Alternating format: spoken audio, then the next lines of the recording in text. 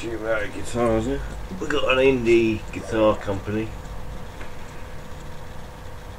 Les Paul RWB, which is red, white and blue. I think it's about 2003 or something. But absolutely amazing condition.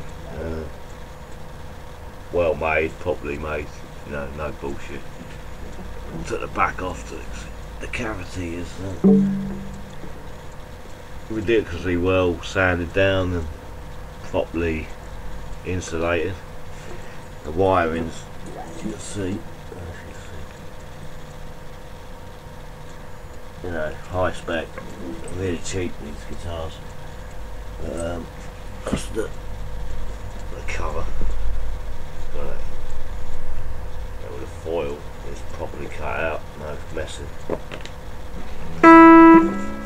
it's got a couple of humbuckers on it, obviously for Les for Les Paul, but ridiculously loud. I don't know what the hell I've done for them, but all the tuners are proper shit.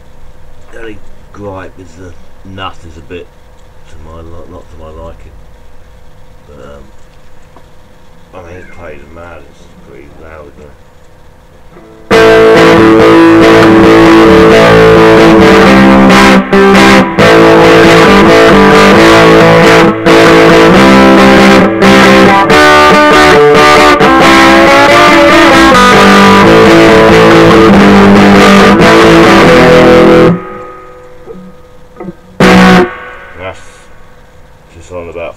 on the volume.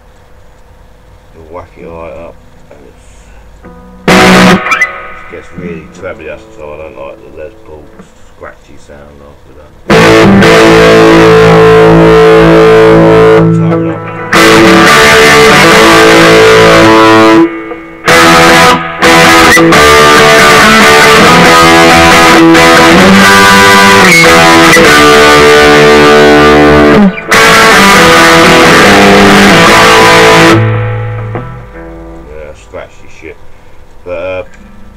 Pick up, everything's full up.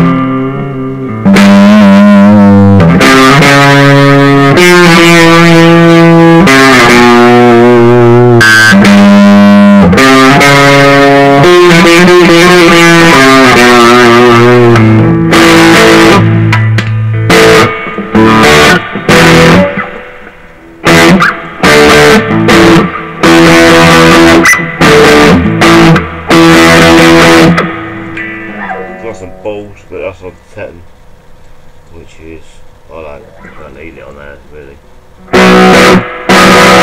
Got three mellows out a bit. Whack that. Uh, well, uh, really good.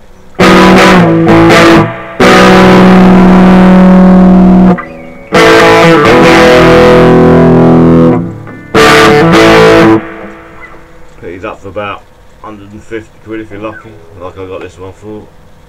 Really good weights. This one's got that logo at the top, which is indie. I think they're designed in England but made in China.